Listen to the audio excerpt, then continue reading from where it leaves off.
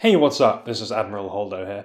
It has to be said that I'm not the biggest purchaser of second-hand clothing, but my recent experience getting a couple of jackets on the low definitely made me reevaluate that. And more recently, I happened to pick up these, the acronym P23TS CH. If you're a fan of the brand, then you'll probably know that these are one of the more popular models of acronym pants out there. And you'll probably also know that these days, a new pair of acronym pants are easily pushing the $1,000 mark thanks to recent price rises in the last couple of seasons. Well, I picked these up for under half that. These cost me just under $500 all in. And that plus me wearing these quite a lot for the last couple of weeks got me thinking, is it worth purchasing uh, used or older acronym at a substantially lower price compared to shelling out for the new stuff? And overall, how does used fashion weigh up against new in a way that isn't just about the money? So this P23 pickup, very much my first venture into the world of secondhand acronym,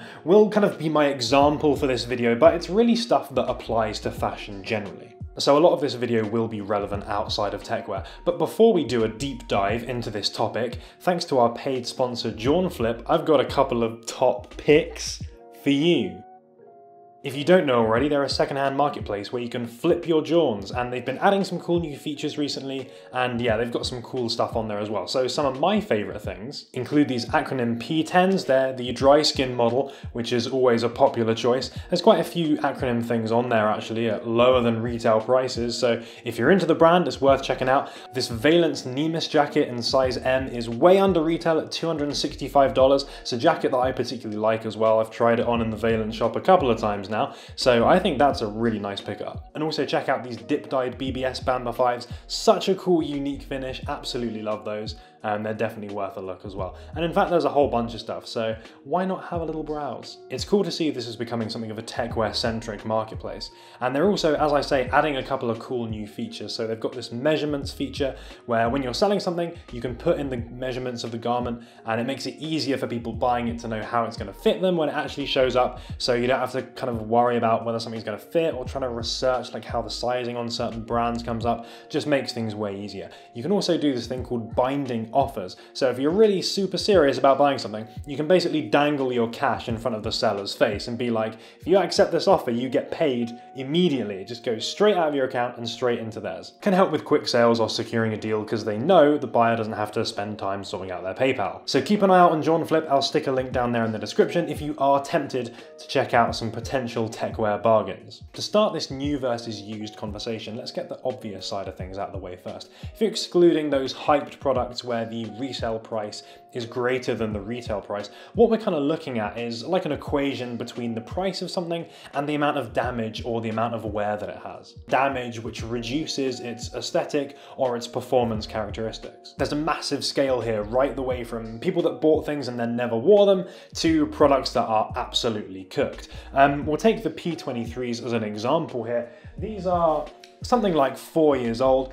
they do clearly have signs of wear. On the phone pocket, there's a little bit of fading, there's one or two very small marks, and if you look down at one of the cuffs, you'll see that there is a little bit of damage or wear to that bit too. They're absolutely not a new product, there is no doubt about that, but their overall integrity is very much intact and they're not damaged in any kind of a significant way. So do those minor bits of damage that I've mentioned, considering that these probably cost around $800 back when they were new in 2016, does that really constitute approximately $300 worth of damage? If you feel that it doesn't, then therefore you're getting a good deal on these. It's a very simple equation and a very easy way of looking at things, but it does get a little bit more interesting than that.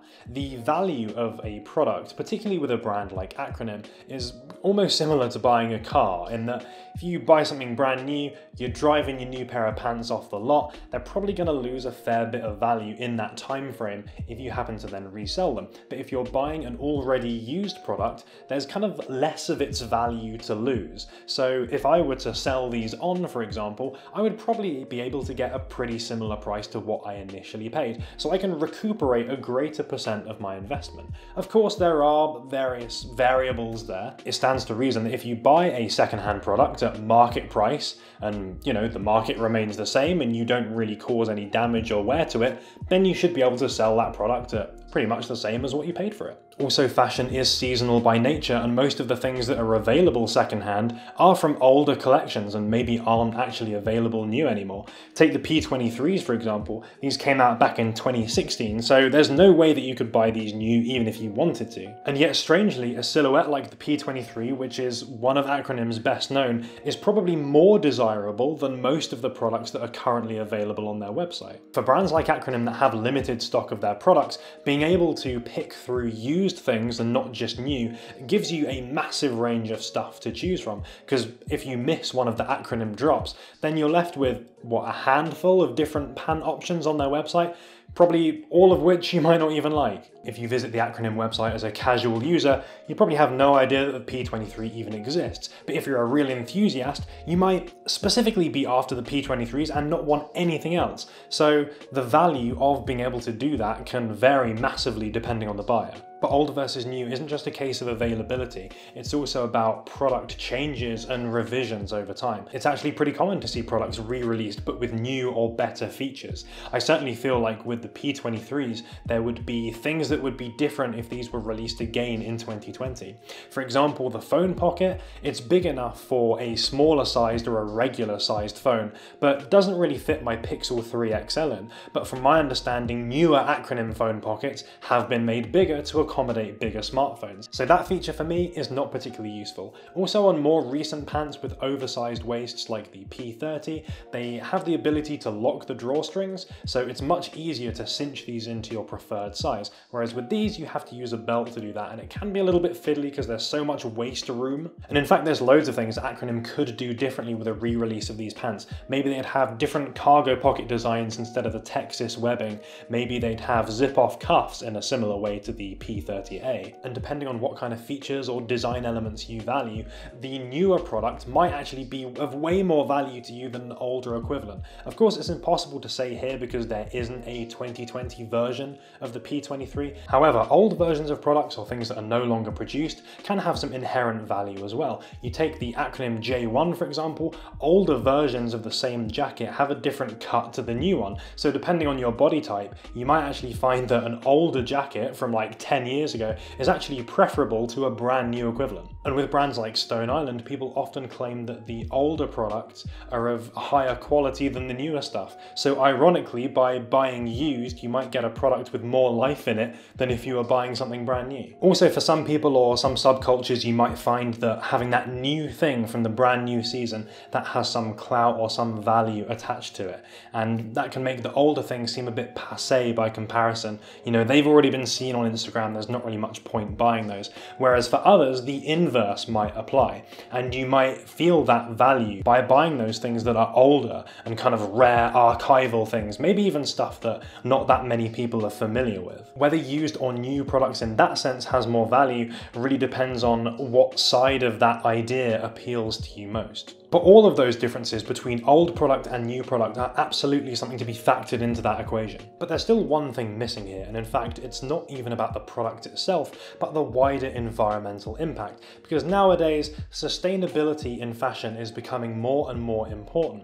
and products that have green credentials or brands that are really doing something from an environmental perspective have a lot of weight, and a lot of people like to buy into that idea. And it's definitely a good thing to want to invest invest in a product that holds those ideals. But it's even better to buy a product where there is essentially no cost of production because it's already been made. If people are empowered to buy and sell products on a secondhand market, then less ends up in landfill or wrapped around some poor turtle's neck. And that's a great way to be environmentally conscious and to reduce your impact on the environment without actually needing to change too much about your behavior. You can still buy the same kinds of products and brands that you like you don't just have to seek out eco warrior brands. And that's something you can apply to loads of different parts of your life. And if people started doing that in general more, things would retain their secondhand value a little bit better. And that ends up being good for everyone, certainly good for Mr. Turtle. So in conclusion, I can't really claim that buying used versus new is anything but a personal decision. And that's because perceptions of value differ massively. For some people, you might have to really be buying something on the cheap to have something that anyone's worn before or is from an old older collection. But for others, the idea of buying something that's a little bit rarer that you can't actually buy new anymore might carry quite a lot of value and quite a lot of weight to you. Or you might not really care that something has a couple of signs of wear because let's face it, that's going to happen when you start wearing it anyway. From my experience with the P23, it's clear that buying new has its advantages and there are things to be gained by buying a pair of pants like this from the upcoming SS20 season rather than looking back to 2016. But buying used simply gives you so many more options and makes it so much more affordable. You're paying three figures for an item as opposed to four figures that it's absolutely worth considering regardless of how much you're stuck into the idea of only buying things new. $500 for my P23 versus like $1,200 for the P30s? Looks like I've just saved myself $700. And those are my thoughts on the idea of buying things new versus buying them used. Let me know what you think of my little P23 pickup here. Do you think I got a good deal on this stuff or do you think I should have saved my money and instead shelled out on the brand new thing? I'm going to feature these in some more detail. Um, I wanted to do a specific video about these pants because I think there is quite a lot to talk about with them. Um, but yeah, I thought the idea of kind of new versus used stuff was also an interesting discussion to have. Anyway, let me know what you think of that down there in the comments, of course. Always good to hear you guys' opinions. And if you enjoyed the video, please do give it a like it's super appreciated. And we will be back next week with another one. Thanks again to JawnFlip for being paid sponsor of the video. Hope you enjoyed the little segment at the beginning, like picking out a few interesting products. I feel like that's kind of a fun way to do stuff like that. And shout out to you with the unpronounceable name for recommending some other cool brands. Uh, those are definitely worth checking out. So if you're into that military stuff that appeals to you, then uh, you got some cool options there. Thanks for making it all the way to the end of the video. If you want to check out some more stuff, there's going to be links at the top, of course. And if you haven't subscribed yet, then you should definitely consider doing so. Because, you know, we've got we've got more stuff on these P23s. And we've got brands starting to release their SS20 stuff. So there's going to be some cool pickups around the corner for sure. Anyways, keep an eye out for that stuff because it's definitely coming.